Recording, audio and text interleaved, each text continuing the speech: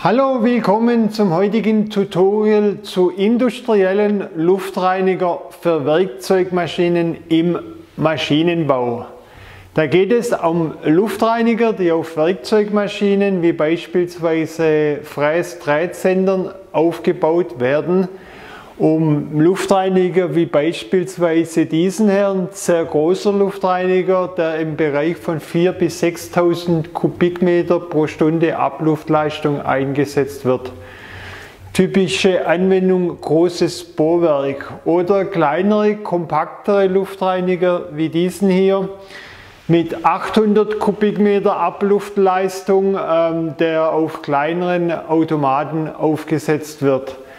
Warum man diese Luftreiniger benötigt, warum es sinnvoll ist, diese einzusetzen, was zu beachten ist, was der Unterschied zu Wettbewerbsgeräten ist, um das geht es heute hier in diesem Tutorial, also um Luftreiniger wie diese und da wollen wir heute euch mal Details, wichtige Hintergrundinfos und Unterscheidungsmerkmale an Hand geben. Gut, stellen wir zuerst mal das große Gerät vor und arbeiten uns von außen nach innen äh, vor über die unterschiedlichen Highlights. Ähm, von außen angefangen, alles was er an Material sät, sind nicht rostende, hochlegierte Edelstähle. Deswegen dürfen unsere Geräte auch das Label vom Rostfreiverband tragen und ähm, ja, das ist ein erster Unterschied. Also unsere Geräte, unsere Produktion ist rostfrei Edelstahl gelabelt. Bedeutet, Edelstahl ist nicht eine Option, die wir ab und zu machen, sondern wir verarbeiten in unserer Produktion ausschließlich nicht rostende Metalle. Ähm, das ist ein großer Unterschied zu anderen Produktionen, die oft Stähle verarbeiten, die rosten sind, äh, verzinkte Stahlbleche. Äh, wenn man das verarbeitet in seiner Produktion, gibt es einen Abrief aus den Werkzeugen. Wenn man dann ab und zu einen nicht rostenden, hochlegierten Edelstahl verarbeitet, dann rostet der danach trotzdem weil es Abriebe von den Werkzeugen in der Herstellung, in der Produktion auf die hochlegierten Stähle gibt. Deswegen ähm, dieses Label, wo ihr beispielsweise von eurem Besteck von zu Hause oder Kochtöpfen kennt, das darf man nur tragen, wenn die Produktion komplett hochlegierte, nicht rostende Edelstähle verarbeitet. Also ein erstes Highlight, alles was ihr bei uns seht, auch wenn es pulverbeschichtet ist, unter der Pulverbeschichtung stecken hochlegierte, nicht rostende Edelstähle. Ähm, Stahlbleche, verzinkte Bleche werden bei uns nicht verwendet und auch in der Produktion nicht verarbeitet aus den eben genannten Gründen. Das ist ein erstes Highlight. Ähm, Stahlbleche, pulverbeschichtet, ähm, können massiv korrodieren, wenn sie mit wasserlöslichen Kühlschmierstoffen in Verbindung kommen. Ich zeige euch da mal ein Bild von unserem Händler aus Brasilien. Ähm, so kann das aussehen und deswegen bei uns 100% nicht rostende, hochlegierte Stahlbleche im Einsatz, auch wenn sie Pulverbeschichtung tragen. Also das ist ein erstes Highlight von außen von unseren Geräten. Gut, dann kurz zur Vorstellung von unterschiedlichen Ansätzen und Systemen, wie man solche luftgetragenen Kühlschmierstoffe, kleine Tröpfchen, kleine Aerosole aus dem Abluftstrom von Werkzeugmaschinen, Filtern abscheiden kann. Ähm, warum tut man das? Um den Maschinenbediener zu schützen, um die hochsensitive Computerelektronik um die Werkzeugmaschine und an der Werkzeugmaschine von diesen ganz feinen Kühlschmierstoffen, Aerosolen, die in der Luft sind, zu schützen. Und diese äh, in der Luft befindlichen Aerosole des Kühl- und Schmierstoffes der Werkzeugmaschine wollen wir mit unseren Luftreinigern abscheiden, filtern, trennen von der Luft, von der Abluft. Ähm, da gibt es unterschiedliche Ansätze. ähm, von Wettbewerbsgeräten, von unseren Systemen. Ähm, prinzipiell gibt es mal zwei Hauptansätze, dieses zu tun. Man kann einmal den Versuch starten, das zu filtern oder abzuscheiden. Hier kurz ein Wettbewerbsgerät, das den Ansatz nimmt, das Ganze über Filtern zu tun. Also ihr habt gesehen, das ist eine Außenzarge von der sogenannten Zentrifuge, die rotiert. Ähm, mit der Rotation wird ein Filter Schaumstoff bewegt. Die Rotation in Verbindung mit diesem Kunststoff ist da der Ansatz, solche luftgetragenen Aerosole zu trennen. Also hier reden wir von Filtern. Weitere Ansätze des Filterns sind große Filter, also solche Dinge. Große Filter, die wieder versuchen, diese luftgetragenen Kühlschmierstoffe eben über Filterung aus der Luft zu trennen. Also nichts anderes wie ein Ölfilter am Auto oder euer Kaffeefilter den ihr von zu Hause kennt. Ähm, selbes Prinzip Filterung. Ähm, zugegeben, wenn die Filter schön sauber, trocken, neuwertig sind, ähm, sicherlich ein effizientes System. Bei Filterung eben das Problem, es ist nichts Konstantes. Man hat am Anfang einen sauberen Filter, man hat irgendwann über einen Delta-T einen verschmutzten Filter und äh, über dieses Delta-T verändert sich die Filterleistung, verändert sich die Luftmenge, weil mh, mm, je mehr der Filter verschmutzt, desto mehr Luftwiderstand, desto mehr Luftwiderstand, desto geringer die Saugleistung. Also das kann durchaus so weit gehen, dass die abgesaugte Saugleistung null ist, weil der Filter zu stark verschmutzt ist. Unser Ansatz ähm, ist eben nicht Filterung, sondern Abscheidung über unser X-Zyklon-Element. Wie das im Detail funktioniert, wie die Entwicklung entstand, wie die Technologie entstand, über Jahrzehnte von Forschung und Entwicklung gibt es ausführliche separate Tutorials. Schaut da einfach mal bitte runter in die Kommentare, in die Links. Da gibt es Links dann zu einer Playlist von mehreren Tutorials. Eines davon ist dann ähm, dieses hier, unser X-Zyklon-Element, wie das funktioniert, wie das entstand und was eben der Unterschied von einer Abscheidung zu einer Filterung ist. Aber hier, hier, mal eben ein, ein, ein, erster großer Unterschied. Ein, äh, ein Filter von einer Zentrifuge versus ein Abscheider von eben einem Abscheidesystem. Ähm, auch der Abscheider wieder komplett aus nicht rostenden Metallen versus ein Kunststofffilterschaum. Also komplett unterschiedliche Ansätze, komplett unterschiedliche Materialien, äh, komplett unterschiedliche Technologien und eben hier Filterung mit einem Delta T, mit einer Änderung in der Filterleistung und Abluftmenge und hier eine Abscheidung, die absolut konstant ist. Was wir hier am Tag 1 an Abscheideleistung haben, haben wir auch noch nach Tag 1000. Ähm, das mal ein erster Unterschied von äh, Geräten, Zentrifugen oder auch großen Absaugtürmen, die über Filterung funktionieren, ähm, versus ein Abscheider.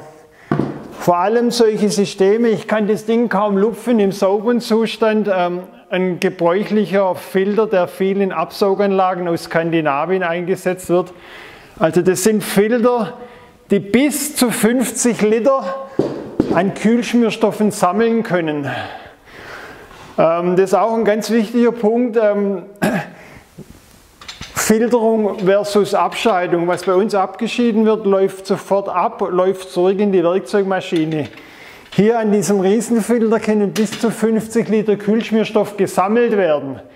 Bei nicht wasserlöslichen Kühlschmierstoffen, Ölen, haben wir hier 50 Liter Öl drin oder bis zu 50 Liter Öl, was natürlich eine gewisse Brandlast ist, die es zu beachten und zu bedenken gilt. Vor allem, wenn man nicht einen solchen Filter in seiner Produktion hat. Wenn Sie 10 haben, können wir von 3, 4, 500 Liter Öl reden das es als Brandlast zu bedenken, zu berechnen und zu schützen gilt.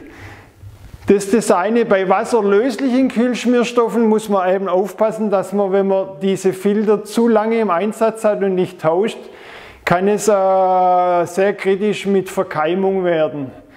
Also ihr seht, ähm, Filterung zu Abscheidung ein erster riesiger Unterschied. Wir arbeiten ausschließlich mit Abscheidung. Jetzt im Gegensatz zu Filtersystemen ähm, zurück zu unseren Abscheidern in unseren X-Zyklon Luftreiniger für Werkzeugmaschinen. Unsere Abscheider bestehen aus zwei Komponenten, einem sogenannten Edelstahl-Agglomerator Stufe 1 und eben unserem X-Zyklon-Element Stufe 2.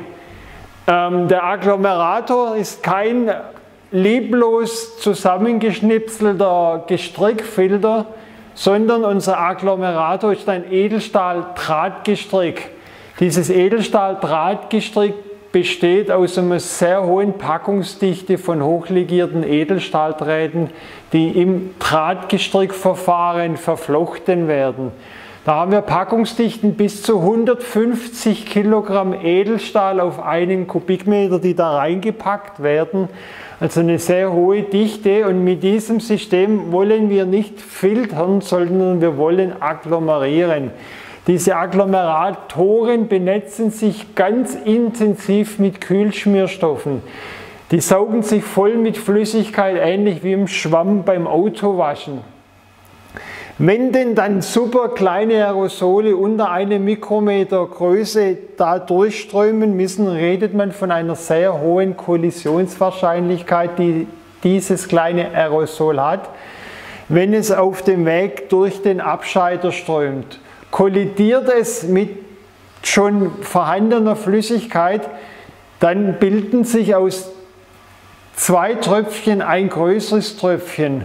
Und es geschieht so lange, bis dieses System komplett mit Flüssigkeit gesättigt ist und dann anfängt auf der Rückseite abzutropfen, also mit der Luftströmung wieder Aerosole abzugeben, die dann in der zweiten Stufe von unserem X-Zyklon-Abscheider abgeschieden werden können, was hier passiert.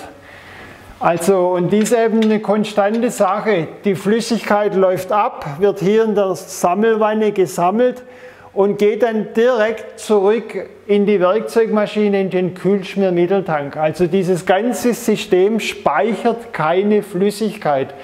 Was eine ganz wichtige Sache ist bei wasserlöslichen Kühlschmierstoffen, damit es eben zu keiner Verkeimung kommt und nicht bis zu 50 Liter Flüssigkeit über Monate steht, das im Ölfall eine unheimlich hohe Brandlast sein kann und im wasserlöslichen Kühlschmierstofffall eine unheimlich hohe Belastung bezüglich Verkeimung sein kann. Also wir scheiden ab und die abgeschiedene Flüssigkeit strömt sofort zurück in den Kühlschmierstofftank der Werkzeugmaschine. Und durch dieses zweistufige System mit Edelstahl-Agglomerator und X-Zyklon-Abscheider kommen wir auf sehr hohe Abscheideeffizienten unter einem Mikrometer Partikelgröße, dank unserem Agglomerator Drahtgestrick und unserem nachgeschalteten X-Zyklon-Element.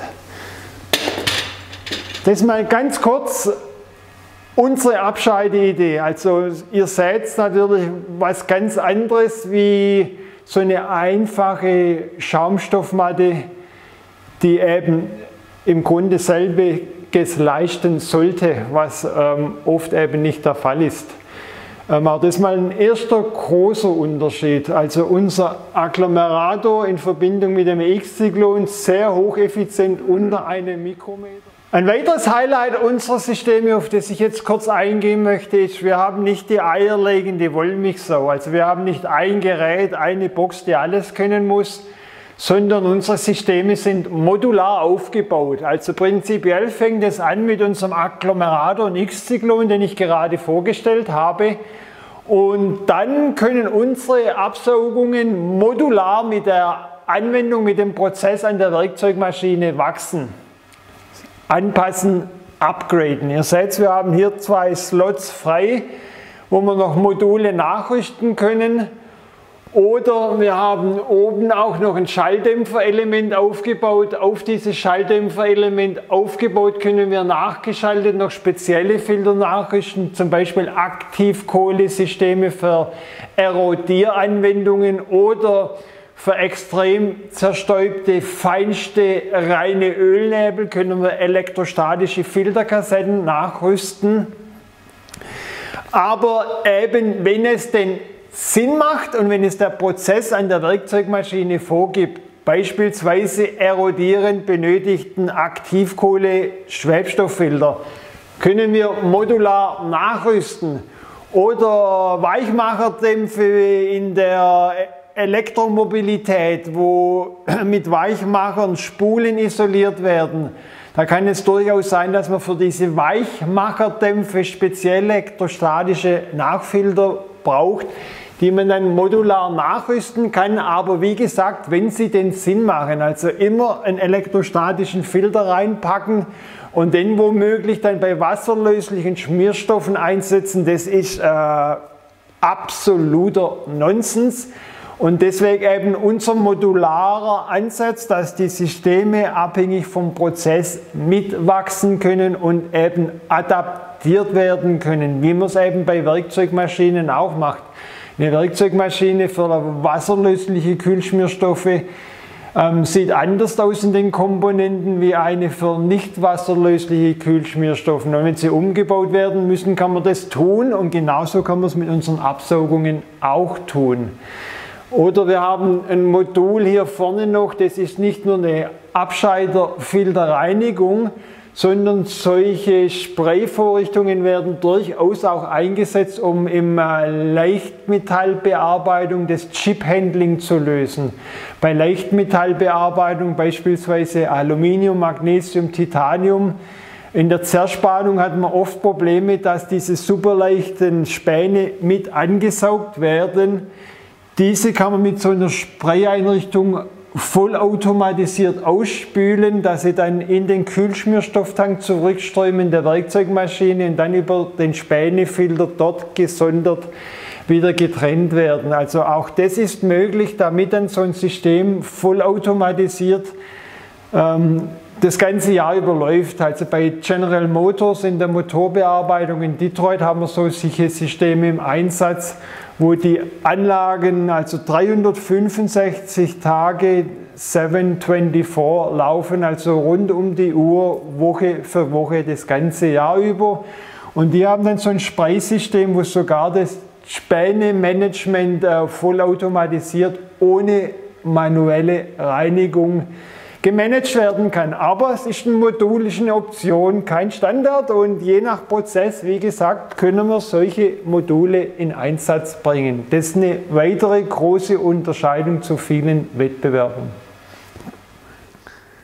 Okay, weitere Module, äh, kurz erklärt an unserer kompakten Absaugung mit 800 Kubikmeter pro Stunde, mal so aus Faustformel, ähm, diese Absaugungen können eingesetzt werden für Werkzeugmaschinen, natürlich abhängig vom Prozess, aber von 1 bis 3 Kubikmeter Arbeitsraum. Wir arbeiten mit Luftwechselzahlen von ähm, Minimum 200 bis Maximum 500-facher Luftwechsel für den Arbeitsraum. Also Beispiel 2 Kubikmeter mit 300-fachem Luftwechsel, was so eine mittlere Belastung ist, dann bräuchten wir rund 600 Kubikmeter Abluftleistung und das wäre eben so eine Absaugung. Aber da beraten wir Sie gerne mehr im Detail, weil wir da viele Parameter brauchen. Kühlschmierdrücke sind äh, ein ganz wichtiges Thema, die Spindelgeschwindigkeit, das Material, das verarbeitet wird. Und da haben wir so eine Datenbank, eine Abfrageliste. Wenn wir diesen Input bekommen von Ihnen, können wir die Luftwechselrate bestimmen und dann eben die nötige Abluftmenge. Aber also auch das ist ein wichtiger Punkt, um das professionell anzugehen. Ähm, wie gesagt, der Berater wird Sie gerne E-Mail zum Kontakt unten in den Kommentaren. Ähm, also hier weitere Module. Ein ganz wichtiges Modul, wenn wir extrem äh, verdampfte Flüssigkeiten haben, bei großer Wärmeeinwirkung, dann brauchen wir unsere Venturi-Düse. Ich zoome es jetzt mal geschwind rein.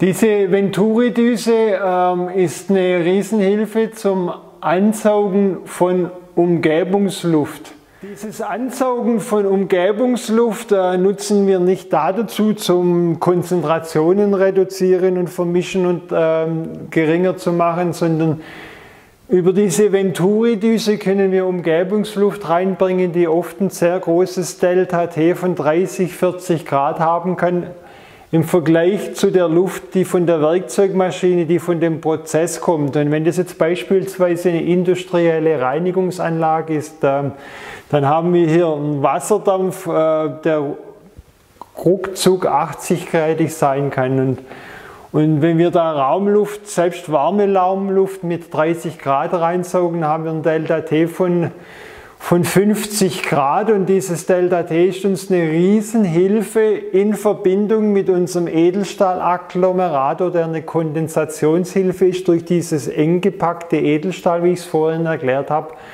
dass wir hier in diesem Bereich eine Kondensation einleiten. Denn wir müssen verdampfte Flüssigkeit kondensieren, nur dann gelingt es uns, diese vom Abluftstrom zu trennen. Solange dieses dampfförmig ist als Dampfmolekül, bekommen Sie das weder gefiltert noch abgeschieden. Also unser Venturi-Modul in Verbindung mit unserem Edelstahl-Agglomerator, eine super Kondensationseinheit.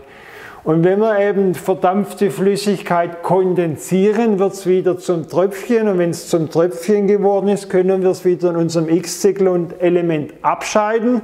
Es fließt sofort ab in unsere Sammelwanne und vom Abluftstützen geht es direkt in den Kühl- und Schmiermitteltank der Werkzeugmaschine. Also auch wieder ein Modul, das je nach Prozess Sinn machen kann oder nicht Sinn machen kann, aber wenn es Sinn macht, empfehlen wir den Einsatz, weil dann die Abscheidung, die Luftreinigungseffizient sehr viel hochwertiger wird. Dann noch abschließend ein äh, weiteres großes Highlight, Schrägstrich Modul. Ähm, bis dato war es de facto ein Modul, das es als Option als Zubehör gab, unsere elektronische Kontrolleinheit.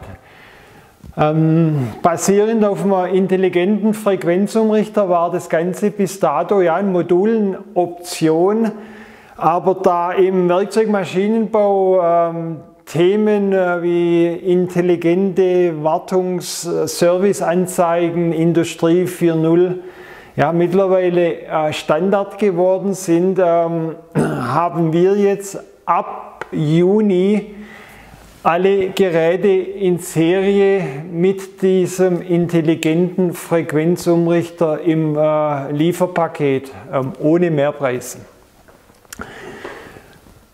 Ähm, ja, die Entwicklung ist uns gelungen mit einem Partner, die äh, aus diesem Bereich aus Süddeutschland ähm, kommen, auch ein familiengeführtes Unternehmen mit einer ganz äh, tollen äh, ja, Vertriebsabteilung, Entwicklungsabteilung, mit denen wir das wirklich zusammen äh, ausgetüftelt haben. Also Herr Alt, Herr Schmidt und auch Zoldan bei uns im Team Vielen herzlichen Dank, dass ihr das hier möglich gemacht haben, dass das kein teures Zubehörmodul mehr ist, sondern ab ähm, Juni 2020 ein Serienbauteil, das unsere Systeme äh, ja, intelligent macht und ähm, wir das unseren Kunden, Ihnen, unseren Interessenten anbieten können. Ähm, an Hand geben können ohne Mehrpreis. Gut, was macht der Frequenzumrichter? Der hat eine spezielle eigenentwickelte Software laufen, die über die Stromaufnahme Betriebszustände in unserem System erkennt. Ähm, das war nicht einfach, das hinzubekommen, dass wir das geregelt, gesteuert, erkannt bekommen, ohne zum Beispiel eine, eine Druckdose oder einen Strömungswächter. Äh, rein über die Stromaufnahme in Verbindung mit unserem intelligenten Frequenzumrichter ist uns das gelungen, was nicht einfach war, was das System A intelligent macht und B aber trotzdem wenig störungsanfällig macht. In der Vergangenheit haben wir uns mit Druckdosen beholfen, die eben dann im System eingesetzt werden, aber ja, die äh, eine Schwachstelle waren. Und ähm, jetzt mit dem neuen System, das jetzt im Juni in Serie geht, kommen wir ohne Druckdosen aus und können das System intelligent steuern und regeln. Ähm, ich werde jetzt ähm, zur Erläuterung des Systems der intelligenten Steuerung und Regelung nicht auf alle Details eingehen, damit das Tutorial auch nicht zu lang wird. Äh, uns würde es freuen, wenn wir euch das mal vorführen dürfen. Auch gerne vor Ort. Unsere Außendienstleute haben solche Geräte in ihrem Kombi und können es auch im Meetingtisch oder direkt in ihrer Produktion gerne mal vorführen. Auch hierzu bitte einfach die E-Mail unten in den Kommentaren kontakten und äh, ja, recht zeitnah können wir da was mit Ihnen ausmachen.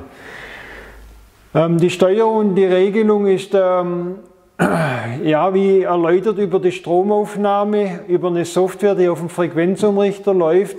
Wir können aber auch zusätzliche Informationen noch reinnehmen. Also wir haben Kunden im OEM-Bereich, die Spindelinformationen, Spindeldrehzahlen oder Spindel an, Spindel aus noch mit reinnehmen oder Werkzeugschleifmaschinen, OEMs.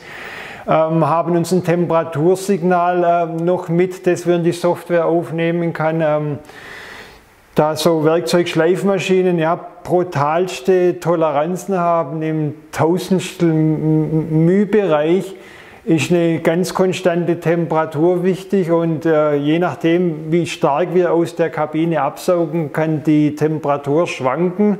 Aber wir können die Temperatur messen, das Temperatursignal auch auf unsere Steuerung nehmen und dann äh, dazu angepasst den Abluftvolumenstrom zusätzlich regen, regeln, damit die Temperatur absolut total konstant bleibt. Also da gibt es vielerlei Möglichkeiten, die die Geräte jetzt können, weil sie eben in Serie mit dem Modul kommen. Was dann noch zusätzlich ist, eine große, einfache Indikation der Betriebszustände. Also was zum Teil im Wettbewerbsbereich gemacht wird, ist also ja, mit einem ganz großen Fragezeichen zu belegen. Das sind Mini-Anzeigen, die dann der Maschinenbediener aus 10 Meter Entfernung erkennen soll. Also im besten Fall braucht er dann ein militärisches Nachtsichtgerät mit hundertfacher Vergrößerung, dass er in Ansätzen erkennen kann, was der Betriebszustand ist. Also das haben wir ganz einfach geregelt mit einer sehr großen LED-Anzeige, die über grün, gelb, rot verschiedene Betriebszustände signalisiert und gerne kann natürlich auch der FU dann über eine Schnittstelle ans Gebäudeleitsystem angeschlossen werden, dass alle Betriebszustände online permanent elektronisch gemeldet werden und dass dann die Anzeige nur noch ein schönes optisches Add-on ist für den Maschinenbediener. Aber auch das ist eben möglich und ich lasse jetzt mal kurz anlaufen, dann sehen Sie die Anzeige. Also da erkennen Sie den Betriebszustand vom anderen Hallenende ohne Vergrößerungslupen vor dem Auge. Und ähm, ja, wie gesagt, die Regelung, die Steuerung würde ich Ihnen gerne mal vorführen. Aber auch das hier eben ein Gerät, wenn Sie bei uns ein X-Zyklon C2 bestellen mit 800 Kubikmeter Abluftleistung. Die 800 Kubikmeter Abluftleistung sind keine Luftmengen, die das Gerät nicht angeschlossen an Werkzeugmaschine, sondern unsere Luftmengenangaben sind Luftmengen, Absaugleistungen angeschlossen an Werkzeugmaschine mit feuchten Abscheidern im Betrieb befindlich.